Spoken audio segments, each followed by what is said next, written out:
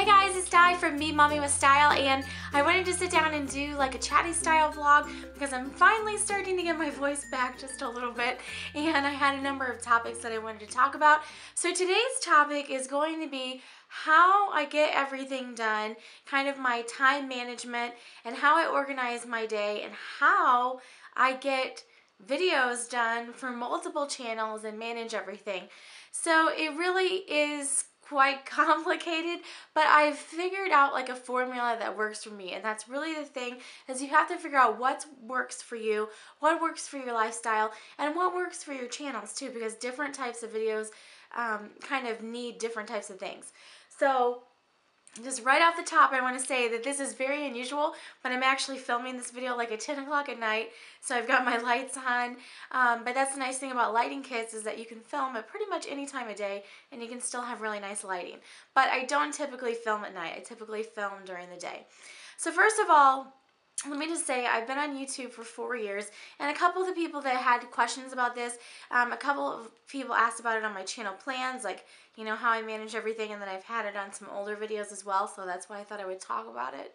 Um, but I would say that it does get easier the more that you do YouTube. So the more that you do YouTube and you get used to uploading things, writing descriptions, you get a really good default description in there that has all of your key information in the bottom so you're not having to duplicate those things. Um, having all that set up really, really helps. Because in the beginning, you're still figuring out how to get everything uploaded. You're still figuring out how to film. Like when I sit down to film, I just turn on my lights. I know the angle of the camera. I just get the focus set in so it's hopefully focused. And um, I just go. So I, in the beginning, a lot of that takes a lot more time. So it takes a lot more time to film. So the more you do it, practice makes not necessarily perfect, I don't want to say that, but the more practice that you have, the easier it gets. Same thing with editing. Editing takes a lot of time. If you do YouTube, then you know that editing is really big. It's like the biggest portion of the time. It's really easy to sit down and film a bunch of videos. The bulk of the time is getting them edited from uploading the video to your computer and then actually sitting down and piecing the parts together to finalizing it and then getting it uploaded. All those parts take time not just for you to handle all the pieces but also waiting for your computer to process and that's something I'm running into lately because I do use a MacBook and it's about three or three or so years old. Um, it's just out of warranty so it's over three years old and, you know, I use it a lot for YouTube and doing videos and things like that. So I'm starting to see where it's slowing me down. Like I could edit faster, but because I have so many files or it's maybe not, you know, the fastest computer anymore, um, it's starting to hold me back. So I am looking at getting a newer MacBook. I really like the MacBook for editing. I originally, when I first started out, if you look back way back on my original videos on Bags for Bubbles, and I think even my first videos on Be Mommy Style, I used to use a Windows-based laptop and Windows Movie Maker, and while it was really easy to use, I made the jump to MacBook and I have never regretted it. Definitely worth the money, definitely worth the investment, and I really like the iMovie platform, and that's what I currently use. I've never felt the need to buy any other fancy software because iMovie does everything that I need as a content creator, just making general like chatty videos or day in the life vlogs and things like that. It's not like I'm adding in like explosion scenes behind me or anything. So iMovie has really worked out great and um, I do have to regularly update my cameras. I've gone through cameras like water since I started YouTube. I really like the Canon point and shoots. I'm actually just getting ready to get another one because the one that I'm using right now is like super broken from being dropped so many times. Um, that's the one thing if you vlog, you drop cameras a lot.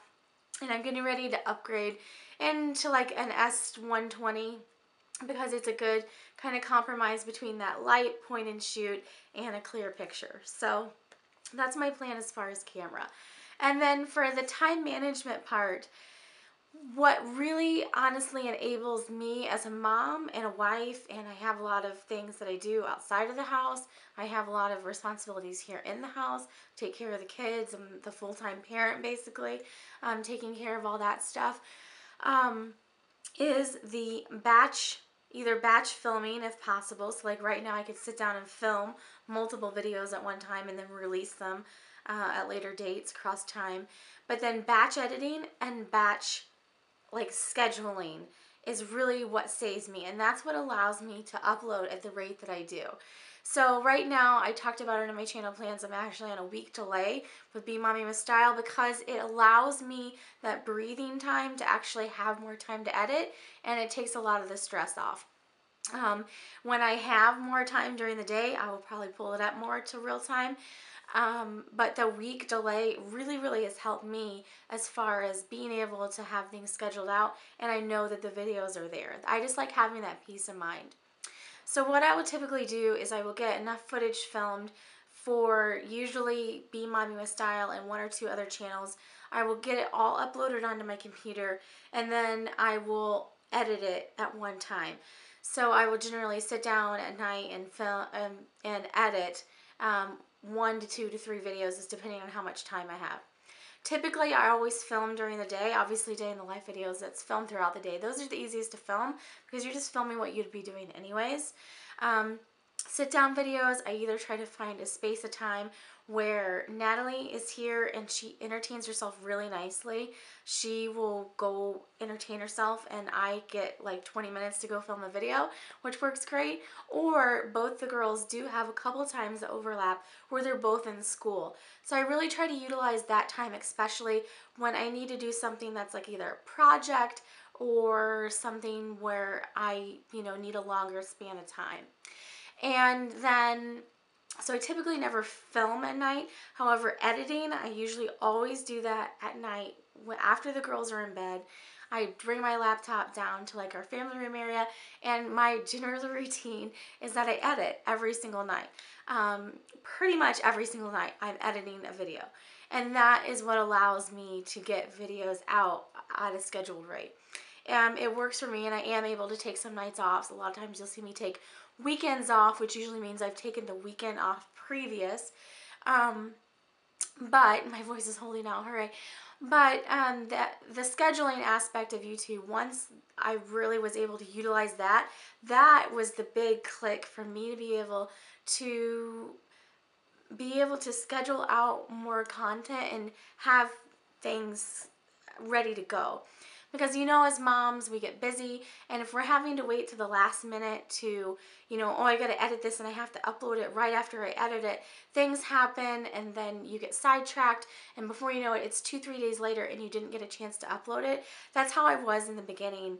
I would, you know, film, and then I would try to I would film during nap time, and then I would edit the next nap time, and then I would try to get it uploaded as soon as possible. But you know, if you get sidetracked, if you're trying to do that real-time upload, um, it can kind of throw you off. And if you're trying to have regular uploads, the scheduling aspect of YouTube is really nice.